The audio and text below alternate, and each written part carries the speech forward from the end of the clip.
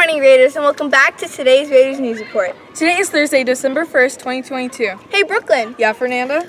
why did Cinderella get kicked out of the soccer team? I don't know why. Because she ran away from the ball. Very funny. Now to Ethan and Matthew with their lunch and weather report. Roll the clip. Today for lunch is pizza.